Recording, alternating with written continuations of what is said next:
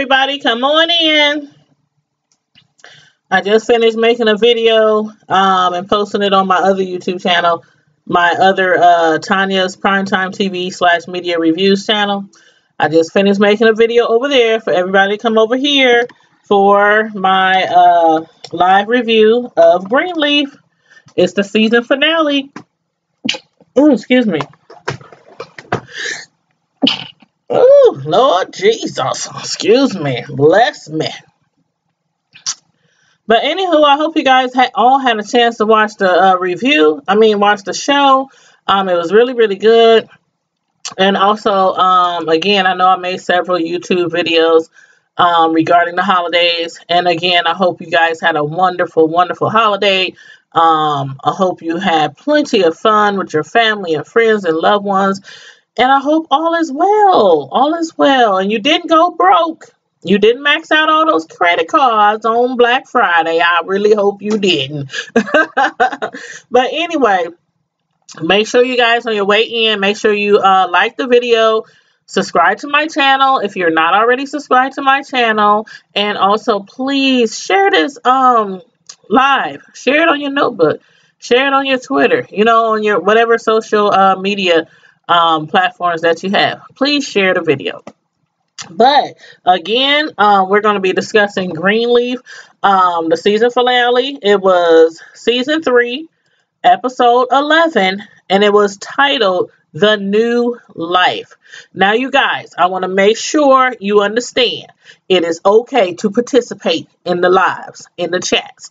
I always have my phone number listed just in case somebody you know, wants to call in and give their point of view on either a TV show we're discussing or a reality show, um, celebrity news, trending news, you know, whatever the topic is. So feel free to comment in the chat. Let me know you're here. Say hi, hey, I'm here, you know. or, um, you know, let me know how you feel about the show that we're discussing again, like I said. So, with that being said, if you watched the finale of Greenleaf, let me know what you thought about the finale. Um, again, I thought it was really, really good, and I'm super anxious for season four of Greenleaf. But anywho, anywho, again, please like the video, subscribe to my channel if you're not already subscribed, and share the video to whatever social media platform that you use. But anywho, let's jump right into this review um, at the beginning of the, well, you know, last episode, Basie had busted up into the bishops, you know, into his office, into the church, into Calvary, and he had pulled a gun out and had it pointed to his head and was making threats to basically blow his brains out, you know, in God's house. So at the beginning of this uh, show, we see how Basie, he was still holding the gun to the bishop's head. And y'all, when Corinne came busting through that door, I was like seriously holding my breath. I'm like, Basie must have turned around so smooth. He had that gun pointed at Bishop's head and turned around so smooth without even looking at Corinne and pointed that gun right in the middle of her forehead. Thanks to Bishop pleading, like desperately pleading to to Basie, please don't kill her. Please don't shoot her. He let her go. She was freaking out. I just knew that she it was a wrap. I just thought it was a wrap. I just I really thought it was a wrap. But anywho, thanks to Bishop pleading with him, he let her go. She was able to run out of the church and you know go get help. But anywho, um I thought Bishop was about to have a heart attack up in there. Like seriously, he was like Oh my God, please don't kill her. Basie, please don't kill her. Just let her go. Let's let her go. You are not a killer. You are not a killer. And he proved that to him by basically Basie didn't really come up in there to kill him. I mean, last episode I was like, at the end of the episode, is he gonna kill him? Is he just trying to threaten him? Is he really gonna go through with it? But nah, he didn't do it. He ain't no killer. He's a thief. He's a thief. He's a crook. He's a gambler. He's a horrible gambler, but he ain't no murderer.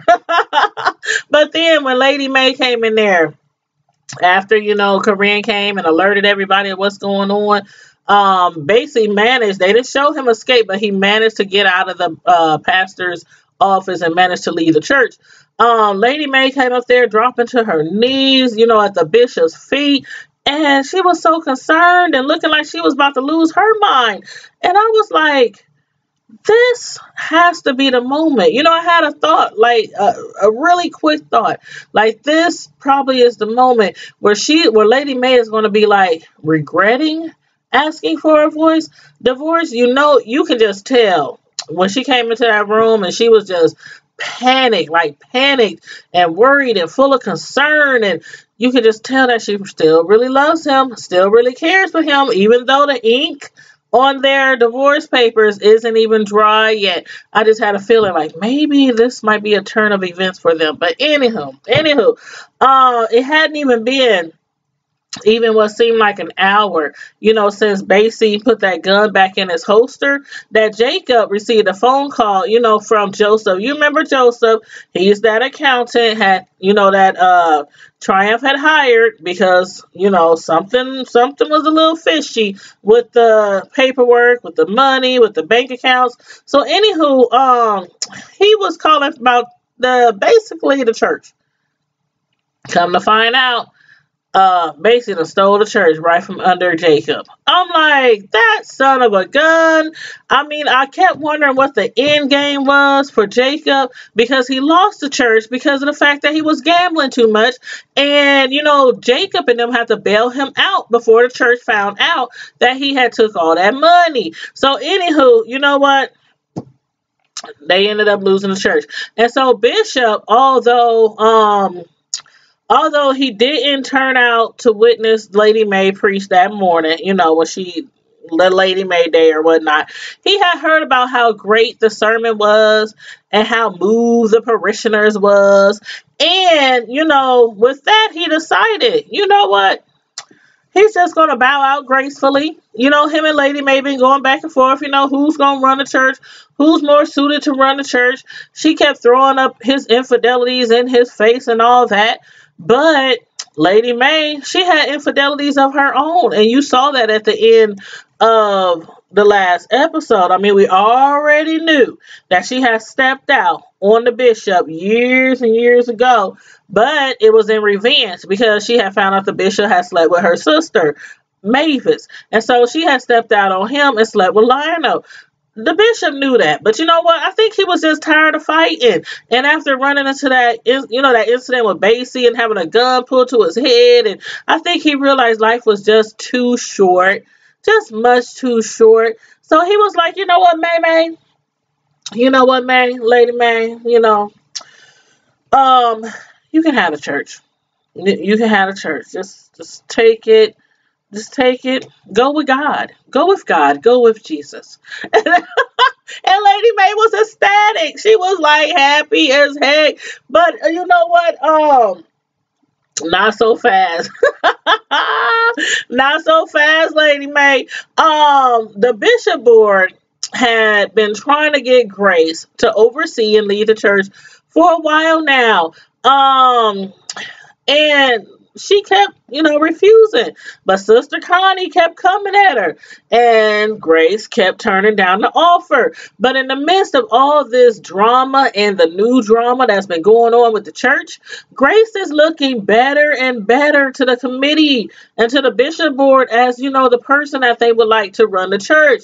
No more Lady Mae, no more bishop. They is basically, you know, tired and through. They That's how they feel like they is tired and through. We need some new um a new leader in this church. So at that time, you know, when they put the offer on the table, uh, she at least said, you know what?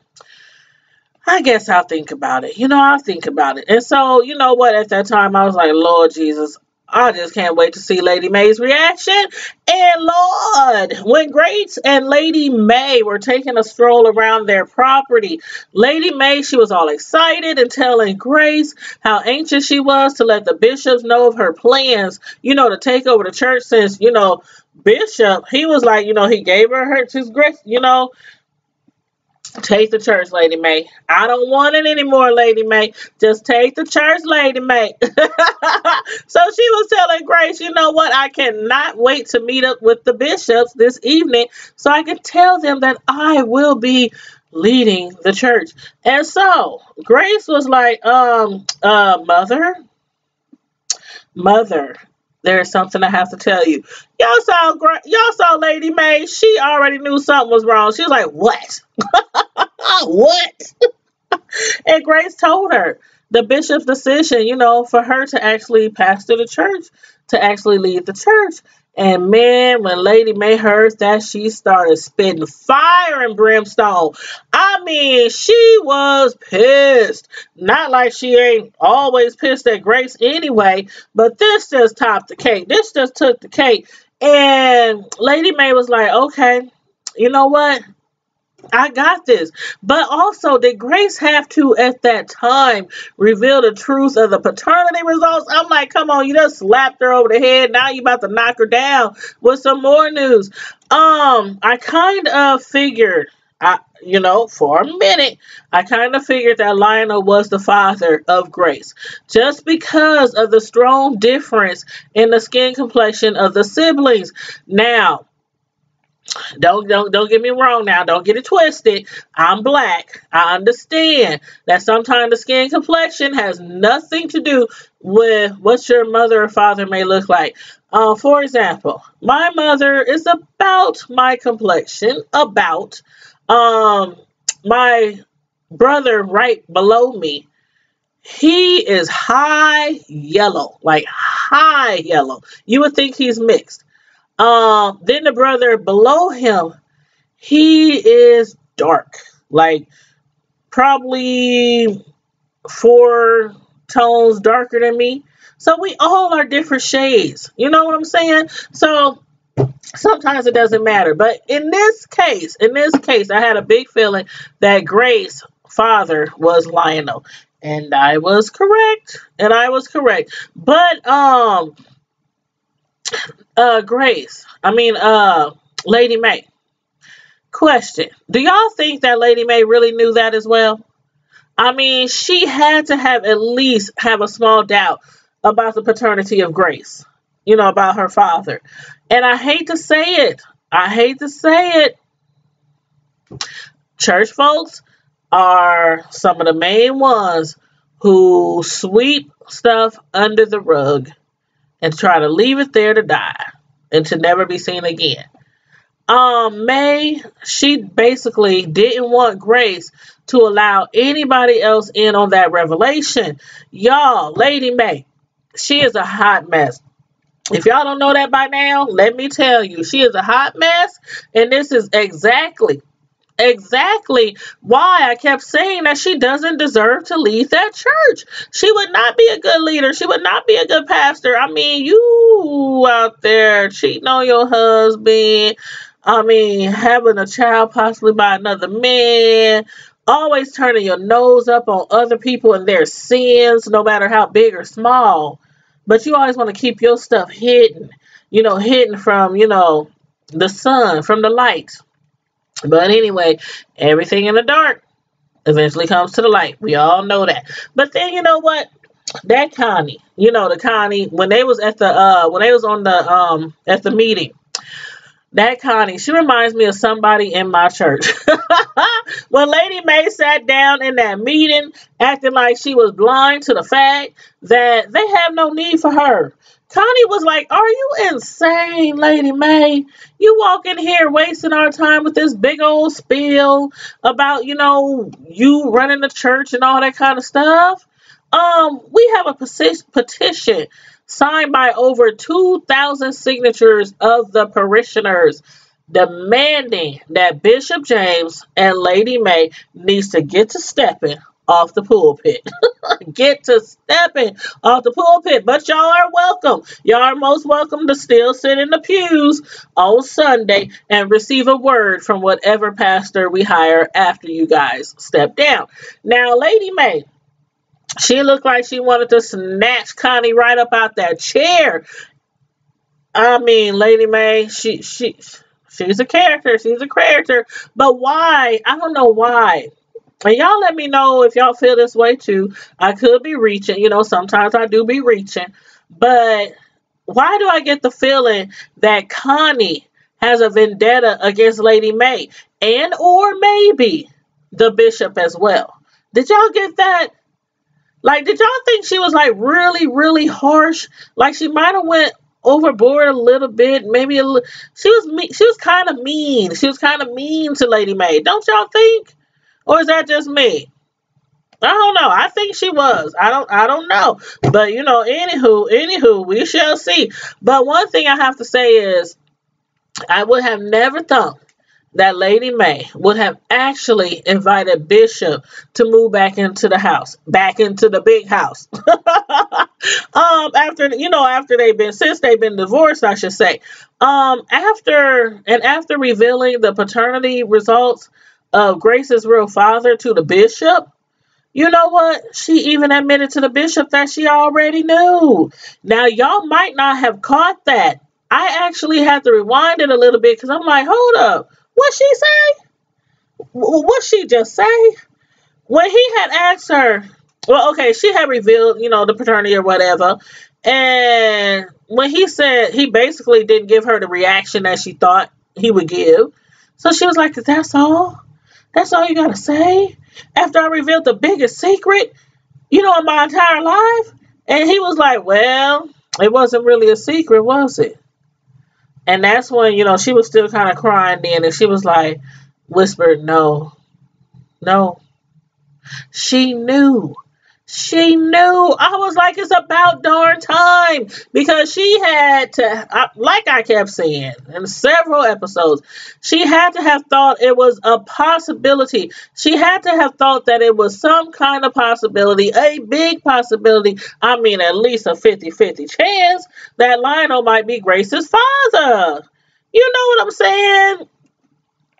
It was a 50 50 chance, at least. At least. And she finally, finally admitted it.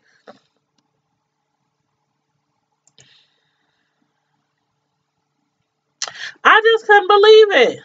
I was really.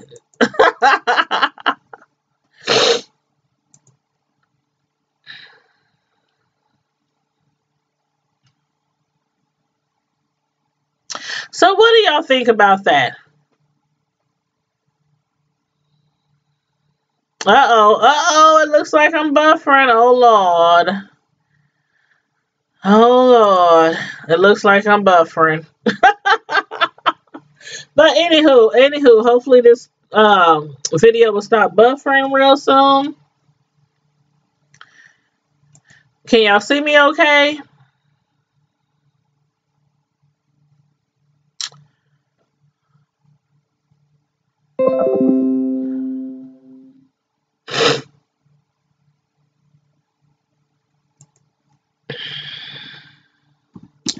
Okay, I'm gonna have to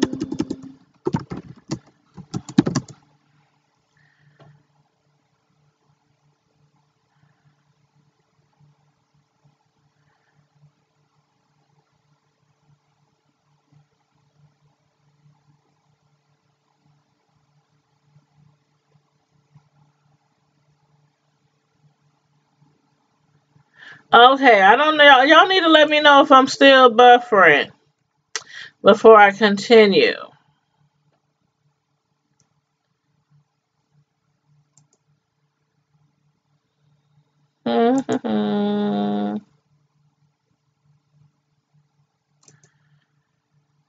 trying to see if it's I'm trying to see if I'm still buffering.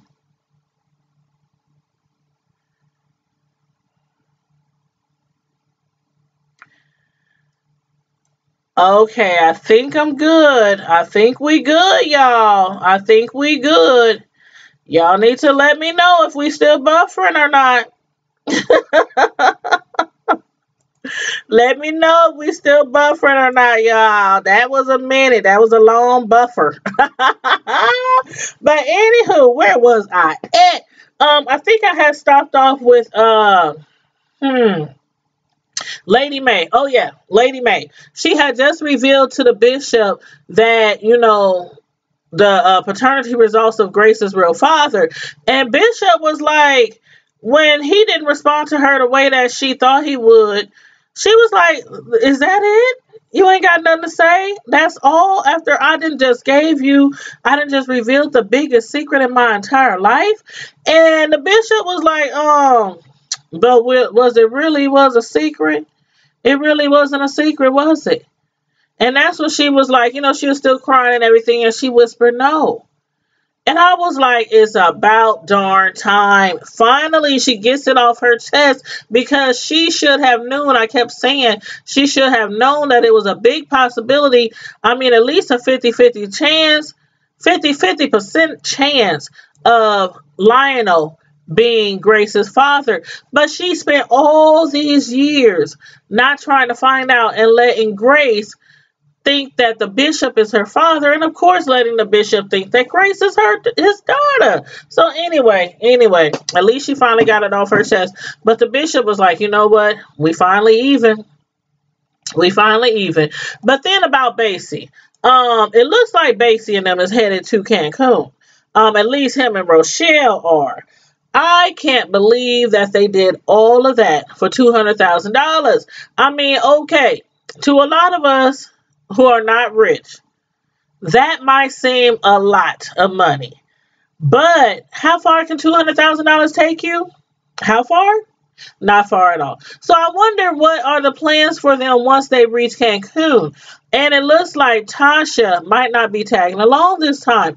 She's actually decided to stay and work with the FBI, and they are going, you know, they are willing to cut her a deal.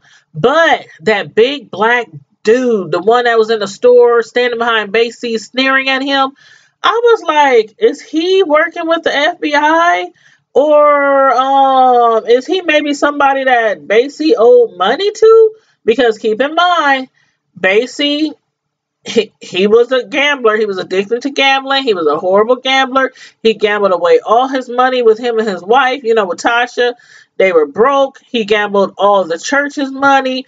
Um, and I do believe, I do believe that he borrowed money, you know, and he owed people. So I don't know. What y'all think? That big black dude, he looked real scary and stuff, standing behind Basie. And then when Basie went outside the store, you know, I was like, okay, okay, I, I really think this is probably not the FBI, probably not the FB to the I, because whoever it was, you know, they stormed out of that store right after Basie. They jumped in their truck, they peeled out and was burning rubber trying to chase Basie and Rochelle down. So, hopefully, at the beginning of season four, we'll find out who the heck he was or who he was representing.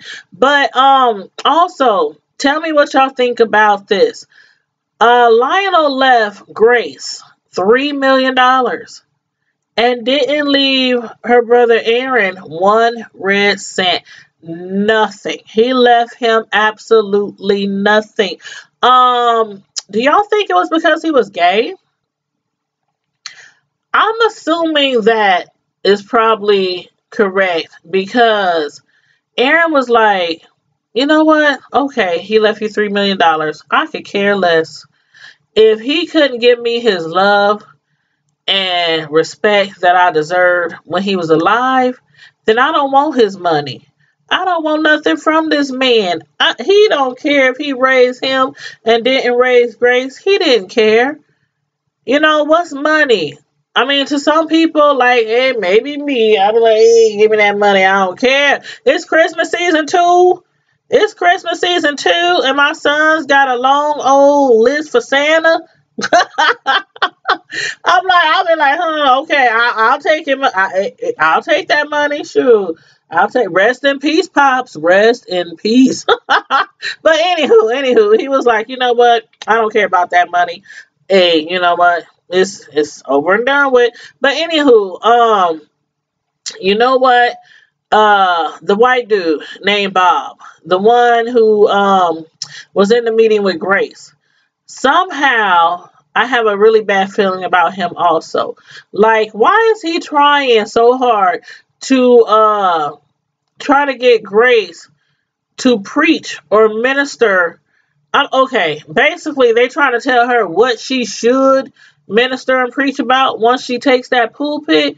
Something just didn't seem right to me. Something just didn't set right to me about that man. So I I don't know. We shall see. But anywho, um Grace, she actually tried to give her father, the bishop, you know, her father, uh, well, you know, not her real father, because Lionel's her real father, we found out.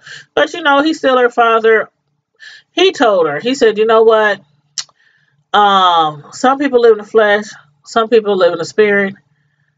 Our family don't live in the flesh. We live in the spirit. So in the spirit, you are still my daughter. 100%. I'm your father. It don't matter whose blood you have running through your veins. I'm your father. So that really, you know, made her feel good and made her, you know, know that her father is still going to treat her the same, just as he always have. And so she tried to give him that money that her real father, Lionel, left her in his will. It was $3 million. And so that leads me to wonder if the taxes were ever actually paid off from the scam, from the scandal that Basie and Rochelle, you know, were plotting. Um, because that three million dollars that would help cover, you know, what the Greenleaf owed to the IRS. So I don't know. I don't know if the if the money was paid off or not because you do recall the bishop had saw some money in his account, but I'm thinking after all of the investigation and the accounting and the FBI and da da da da, I'm thinking maybe whatever money the bishop had in his account from that scandal, maybe the FBI confiscated it, is holding it, you know, until they go to court or, you know, I I don't know. I don't know.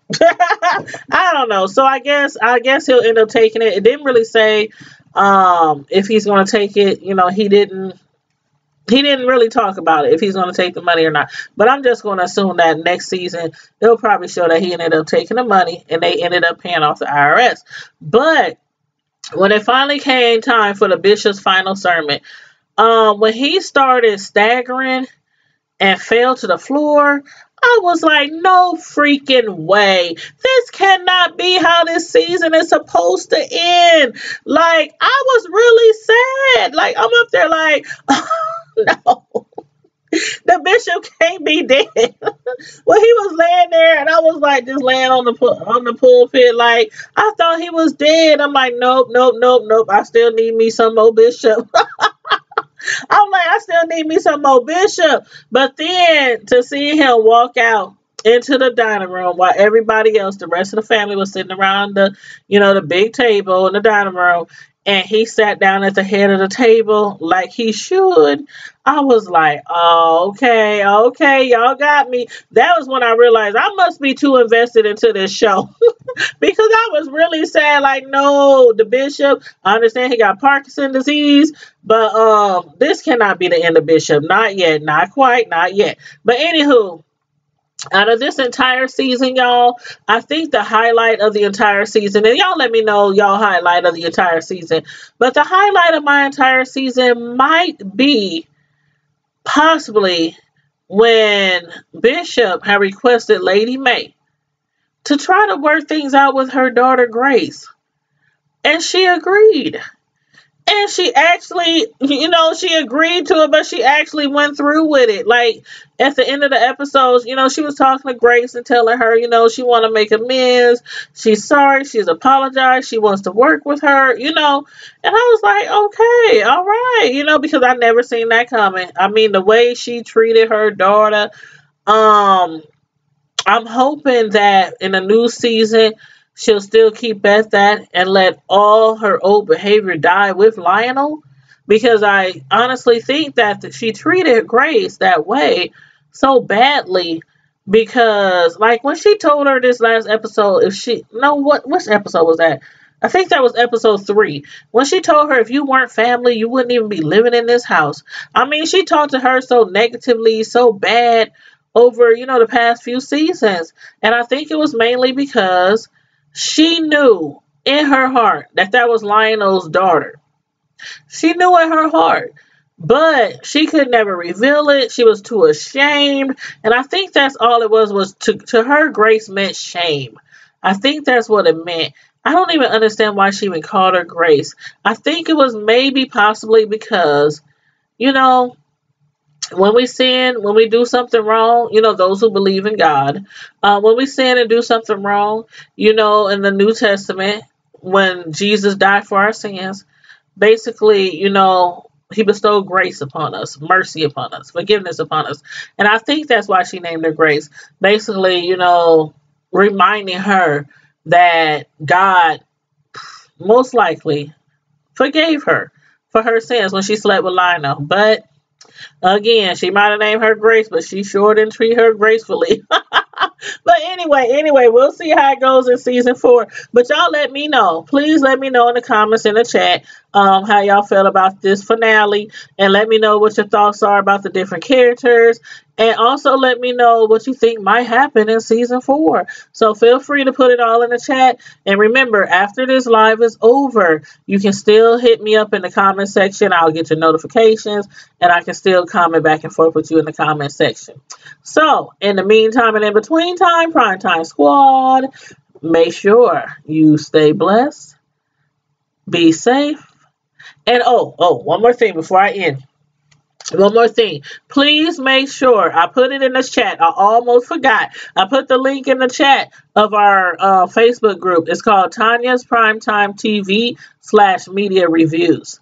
So make sure you click on that link. It'll take you to Facebook and you can request to join our group and I will add you to the group. And also, matter of fact, let me go over here. Hold on. Okay, let's see. I just want to put this other link in here. Okay, here we go.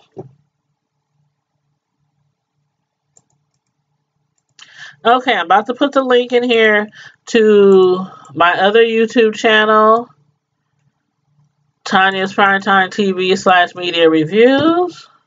And also, you can follow me on Instagram, Tanya Primetime TV, all one word. And also, I'm on Twitter at Tanya's Primetime TV slash media reviews.